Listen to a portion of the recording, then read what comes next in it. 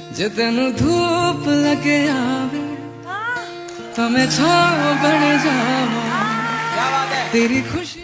hello Bodoland, uh, this is Ritu here and I'm coming to your place on 13th of November for a live show uh, at uh, City of Peace, Kokrajhar.